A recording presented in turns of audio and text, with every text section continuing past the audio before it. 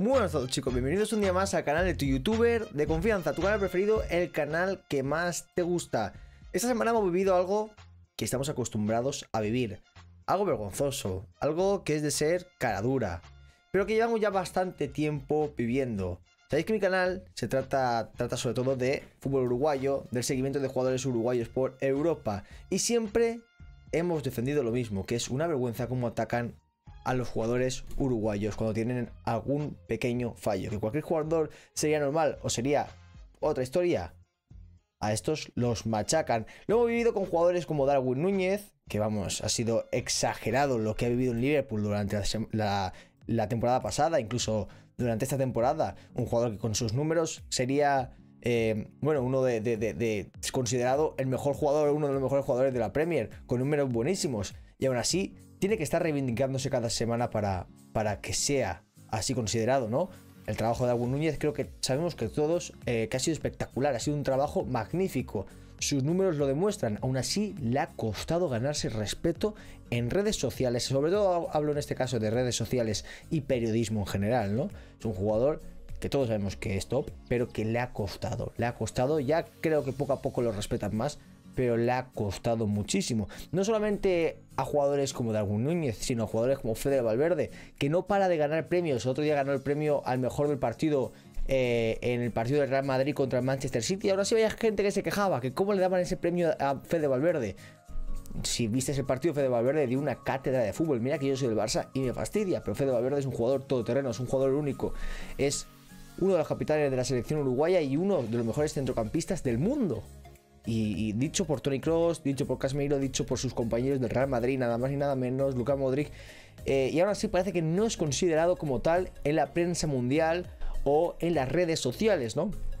Y esta semana hemos vivido pues una que es la gota que come el vaso, ¿no?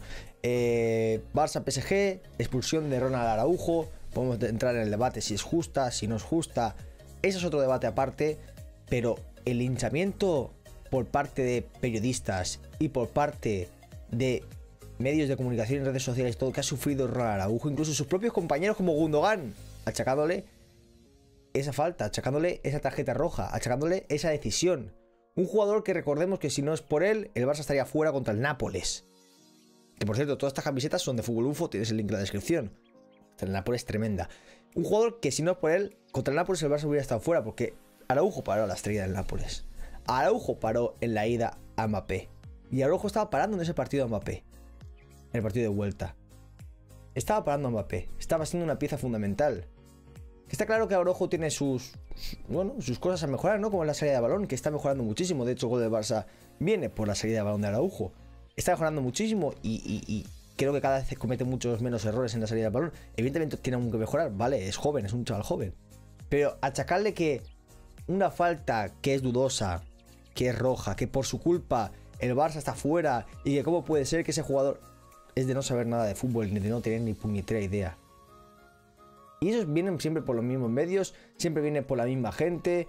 Eh, Sabéis la rivalidad que hay también, eh, bueno, entre los países eh, latinoamericanos siempre hay bastante rivalidad a la hora, no a la hora de, de, de, apoyar a Araujo, que seguro que muchos sí que apoyan a Araujo, muchos argentinos, muchos brasileños incluso apoyan a jugadores sudamericanos, pero a la hora de decir, eh, ¿no veis cómo Militao es mejor? Esa es la típica. Militao, mira, el que era mejor que Militao. Mira lo que ha hecho. También aficionados del Barça, muchos aficionados del Barça incluso machacando, ¿no? A Ronald Araujo. Otros muchos no, yo soy aficionado del Barça y yo soy consciente de que Araujo nos ha dado todo esta temporada, de que sin Araujo esta temporada hubiera sido un auténtico desastre. Soy consciente de ello. Y muchos también lo somos.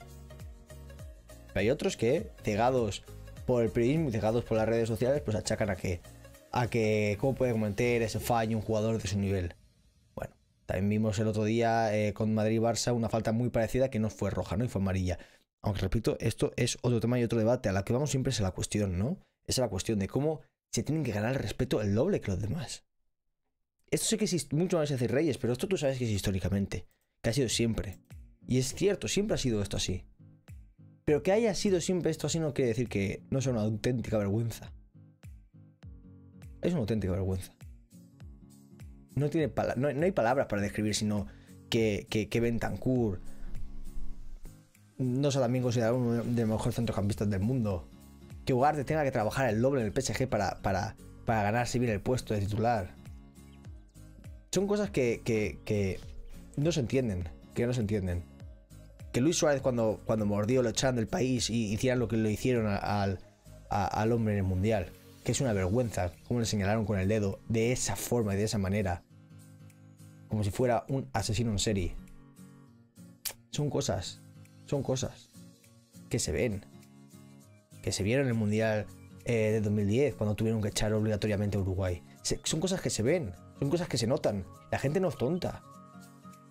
La gente uruguaya lo ve, pero ya estamos acostumbrados a vivir con esta, con esta realidad.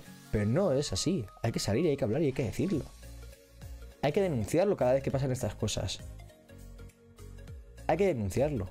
No tenemos que quedarnos callados. Es igual que cuando nos quieren quitar las, las estrellas. No tenemos que quedarnos callados, tenemos que decir la realidad, tenemos que explicar lo que es y por qué es.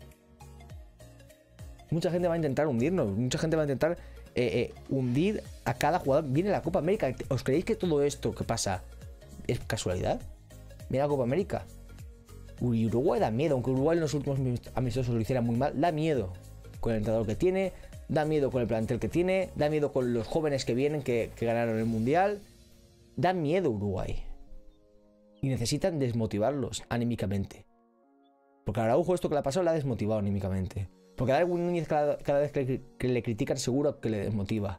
Cuando Luis Suárez salen vídeos en Inter de Miami que el hombre no puede correr, desmotiva. Para reírse de él, que es lo que hacen. Cuando sabemos que es un mejor delantero de la historia y por lo menos habría que tenerle un respeto. Por lo menos. Bueno, son cosas con las que estamos acostumbrados a vivir, pero que tenemos que salir aquí, que tenemos que denunciar. Eh, más ahora que viene la Copa América y no podemos dejar que nos hundan, que nos pisen. Es imposible dejar eso. Estoy seguro que Bielsa hará un tremendo trabajo con, con, toda, con toda la plantilla para que psicológicamente vayan bien, vayan enchufados. No hay que dejar que, nos hundan. No hay que dejar que nos hundan. Eh, sabemos todas las vergüenzas que hay, pero sabemos la calidad de estos jugadores. Lo repito, lo defenderé siempre. Uruguay tiene una de las mejores plantillas del mundo. Y para la Copa América puede competir a cualquiera igual que le hizo a Brasil y Argentina. Y es lo que hay. Y es así. Eh, chicos, poquito más que añadir. Quería únicamente expresarme con vosotros. Sabéis que no subo muchos vídeos, pero voy a intentar subir un vídeo a la semana por lo menos. Para, bueno, para desahogarme con vosotros, para ver cosas, para, para comentar. ¿Vale? Seguimos aquí, seguimos a tope. Dale like, suscríbete al canal y nos vemos el próximo vídeo. Su el bicho. Y recordar, recordar, que no nos hundan. Que no nos hundan. Y las camisetas, Fútbol UFO, link en la descripción, código Reyes. Sí, al pecho.